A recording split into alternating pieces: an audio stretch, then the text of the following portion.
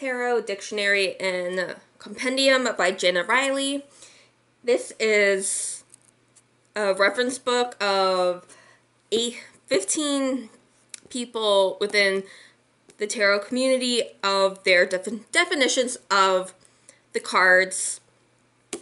And it's all put into this one book. And so you got at the beginning, Jenna puts photos of some of the tarot cards. And then she talks about them. And then with each chapter, you get a quote of some sort, some information, and then you get this this type of setup where you have each person and a few sentences about how they see that certain card. And at the end of each chapter, you get a section where you can write notes if you want. But if you're the person that a type of person that doesn't write in their in the books, you can put like a sticky note, like like different sizes onto this and like have your own note.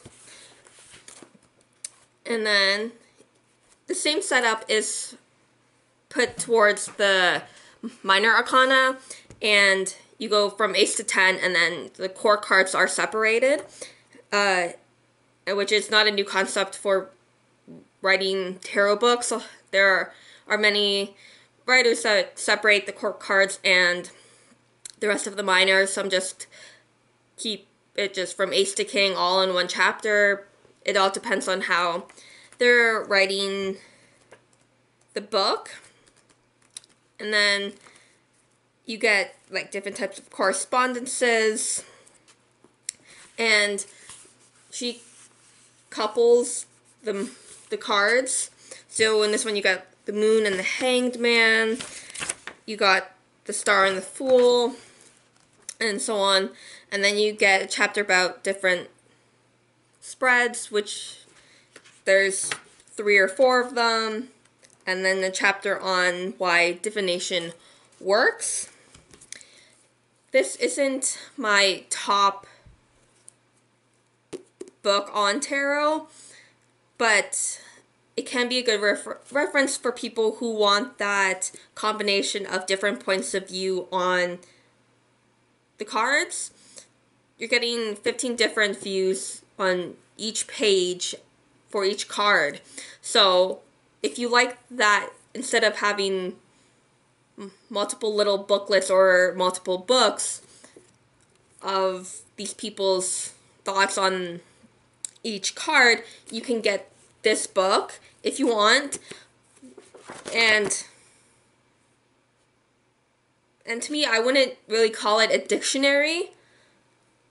It's just more of a reference type book, but that's what she called it and I can I can get how why she called it a dictionary, but again, it's not my top book on tarot. So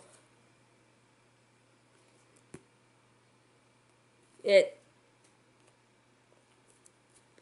it has its pros and cons for each per, for depending on what type of book reader you are.